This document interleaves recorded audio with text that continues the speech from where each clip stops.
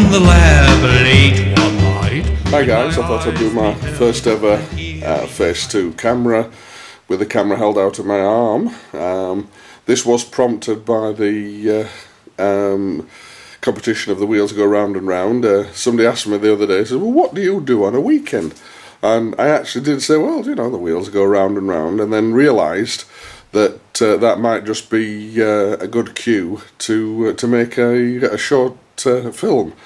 Um, the editing is going to be fairly poor because I'm going to try and do it all in camera as we go. Uh, but uh, what I do, one of the things I've been doing for the last three weeks is trying to build what's called a hydrogen torch.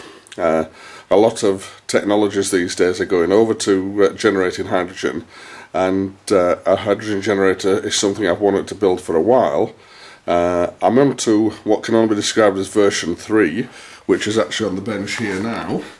What we've got there we started out with uh, a different chamber. The original chamber I actually cut out on the laser cutter and it looked very interesting etc and leaked like a sieve.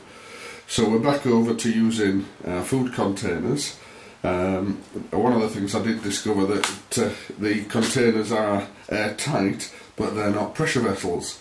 So all the gaffer tape is about trying to hold the lid on so that it actually forces the gas through the through the pipe. Now the big problem that you've got before you get to that stage is you need a lot of power. Uh, I tried lead acid batteries and burnt them out.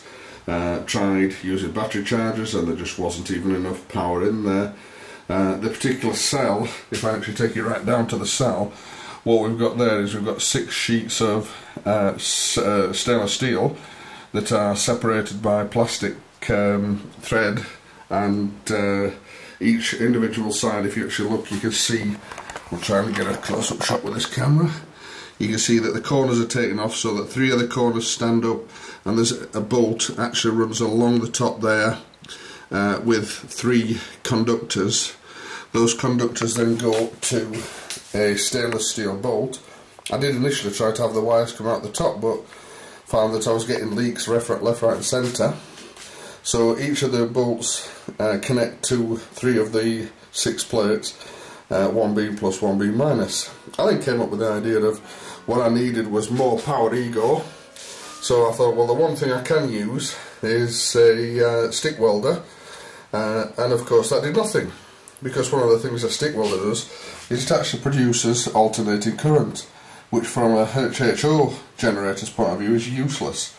So on Friday this weekend I sat down and built this rat's nest which are, is uh, 10 40 amp rectifiers straight out of Hong Kong um, I've tried to do double redundant wiring so that the, the current can go either way up the wires on the basis if a wire gets hot it can get supplied from another side uh, there's four sets of 27 amp cable going back to the two terminals so you've uh, effectively 100 amps on each cable.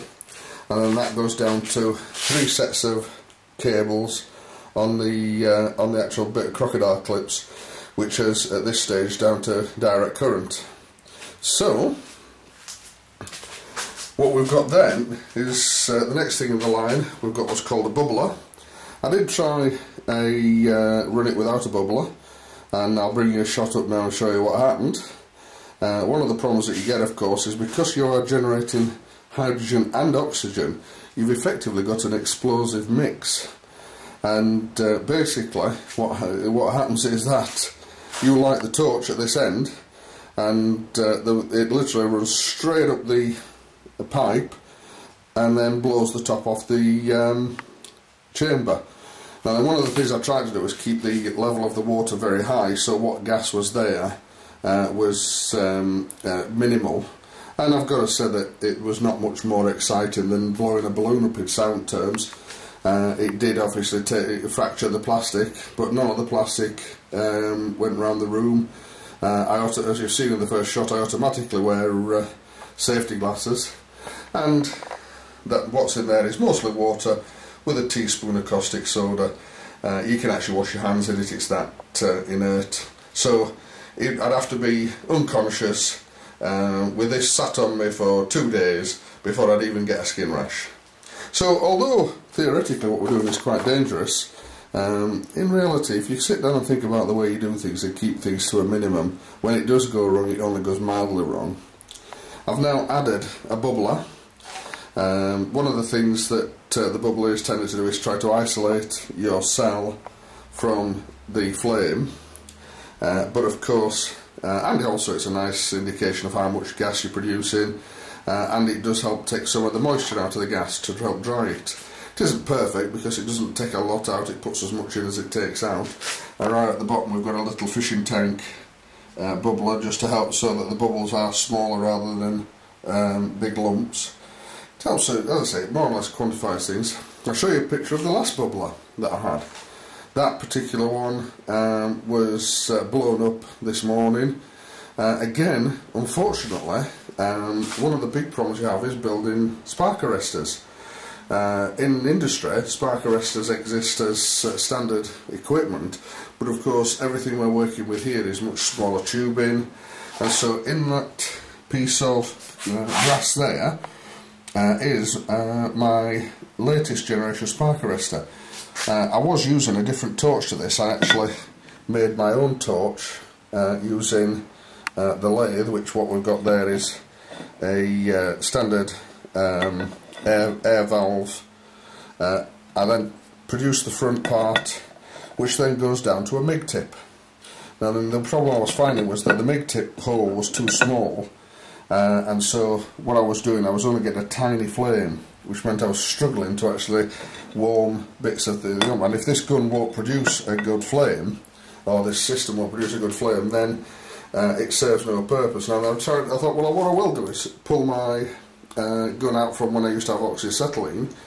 Uh, I let that go because British Oxygen just don't know what to charge for um, their cylinders anymore. And so what I thought I would do is I'd uh, try this out. And in the back of there, I've put a spark arrestor. What you do is you get bronze wool. Um, using bronze wool because it won't burn unlike you, um, steel wool would. You actually roll that up into a little, uh, like a cigarette uh, filter, and push that in the hole. So hopefully that will uh, spark arrest if this decides to let the gas on the, on the way up. So what I'm going to do now is turn on the things, double check that the valve is open on the torch because the system can't really stand a great deal of pressure. It's actually designed that if the pressure gets too big what it will do. So what we're seeing there now is you can see the gas being produced inside the chamber. That's a mixture. One plate produces hydrogen, one plate produces oxygen. That is now then going through the bubbler. So we've quite a nice amount of gas being produced. Again, I haven't sealed that bubbler yet, so I don't know just how much I'm losing out of the top. I may lose quite a bit. But part of it says I can lose a little bit to atmosphere. It's not harmful as oxygen or hydrogen and then it's down to how much is actually coming out of the torch. So one or two things will happen. When I light this torch, the top of that um, bubble will blow, uh, or we'll end up with a rather nice little flame at the end. So in we come with the flame, and as they say, watch out for the bits. Yeah, basically my spark arrestor didn't work, and what that's done is that's taken the top off the uh, of the, uh, the fairly uneventful. It's annoying because I now have to make another one. It also means that my uh, spark arrestor uh, is failing in there. And uh, as we go back to the beginning, uh, as they used to say, go back to the drawing board, or as I started out thinking about this video, the wheels go round and round. Right, so what I've done is I've taken the uh, original gun, which is the one I manufactured on the lathe, taken that apart, and I'm going to uh, put in another part spark arrestor. That's the bronze wool. And what I'm going to do is I'm going to roll that up into a sabot and I'm going to make a spark arrestor that's the full length of that uh, um, torch on a basis that uh, it's more important that it spark arrests than worry about gas flow what I have done is I've taken what was a point standard point six MIG tip and um, drilled that out to um, point eight. It's having trouble focus on it. uh, sorry 1.5 mil on the basis of trying to get a better torch. Uh, we'll see experiment number thing, number thing, number thing, experiment number thing, we're not keeping a proper record. Right, so I've uh, built the extended spark arrestor in the uh, in the torch. Um, there's only one way to test whether they work, I'm afraid, and uh, that's to uh, throw some gas through it and try and light it. Uh, one of two things is going to happen. It's either going to be uh, back to blowing another lid off one of these, which uh, fortunately I do have another two. Uh, it is annoying if I do, because I have to remake that lid each time. on the bubbler, I've not bothered with the um, end uh, I decided that uh, it wasn't really achieving anything um, apart from creating more pressure and we've got the homemade torch on there uh, which is wide up, we'll put that on the end hopefully even with the 1.5mm tip if it does run, up, run back up there because there isn't enough gas flow then uh, it should stop there in that section there because the wall should stop just like a Davy lamp principle should stop the uh, flame running back.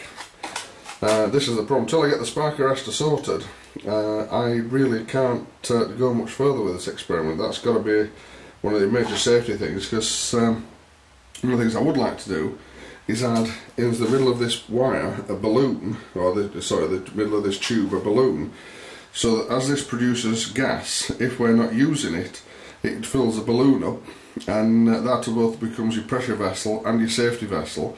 If it does burst, then all you've got is bits of balloon flying around the uh, thing, not really um, going to do a lot of damage. Uh, we're not going to be going to casualty. Uh, but in the same breath, we don't want balloons banging off unless uh, unless we you know we, we know that it's because we've got a, a real problem. So we're back down to stand well back and blow another lid off and uh, this is uh, the part of the experimentation. We'll turn the power on to the thing which means that we start producing gas again. Um, you can see the gas coming through the system. There's quite a lot of gas there so we should be getting quite a good flame. I have also super glued this lid on so that means it should be forcing that gas through the gun now which a certain amount of not getting a blowback is actually having good gas flow. I'm also talking a bit and allowing that to keep going, partly because I want to make sure that there's no air in that chain. Uh, although it is an explosive gas, we want it to be gas uh, and give the actual system a chance to vent to air before we start lighting it. So, based on the bubbles, which are quite large bubbles, I'm hoping that the gas flow is going to be good enough so we don't end up with another bang. But this is the thing about experimentation. Sometimes it goes wrong and at some stage you've got to make a decision and say we're going to give it a go. Yeah bit better bang that time that's one of the advantages of having it uh, super glued on but we now know for certain that that spark arrestor isn't working very annoying. so what I've done at the moment, I've uh, added uh, a balloon to the system. Uh, I wanted to see uh, if the system was struggling to get all the uh, pressure through. Uh, I did have a minor leak on there, I've put some fairy liquid on just to see if I could spot the leaks and I've got, got rid of the leaks on top of the um, bubbler. So we're now in a situation where that balloon isn't really getting much bigger. If it is, it's only slowly getting bigger, which means that it must be coming through the torch. Either that as it's leaking in uh, areas that I've never seen systems leak before.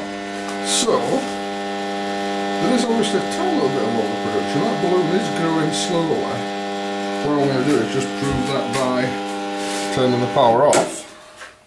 And we'll see how long it takes for that balloon to go back down. Which is also useful because what it does is that means that if we do turn the power off we are still getting gas through the gun. I'm also just going to check the heat of the rectifiers, they are getting quite warm. So uh, they are doing the job, but they are, there is a lot of power going through there, to say the least. So the question is, do I dare try and light this with that balloon on there?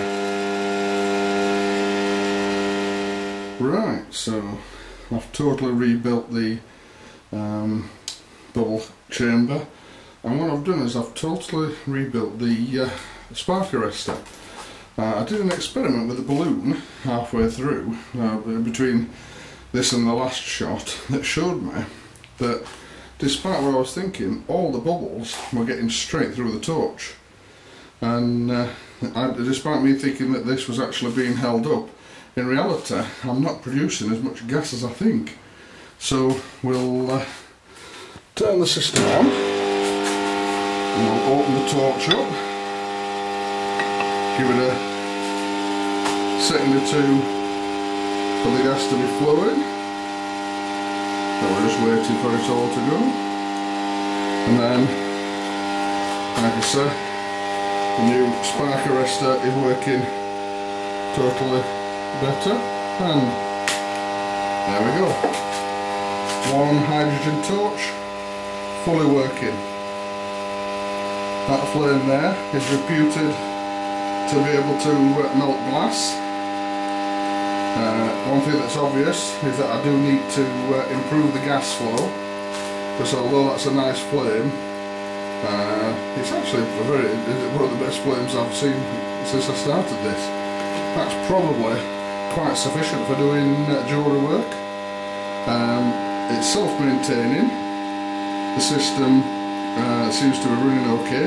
What I want to do is add some big blocks underneath the um, rectifier to help cool that down because uh, even at uh, the uh, with the thing set at the minimum uh, I'm still getting the rectifier is getting quite hot and the wiring is getting quite hot and there we have it. A flash comes to my face and my pulse begins to race. It goes boom, boody, boom, boody, boom, boody, boom, boody, boom, boody, boom, boody, boom, boom, boom, boom, boody, boom, boody, boom, boody, boom. Well, goodness gracious me.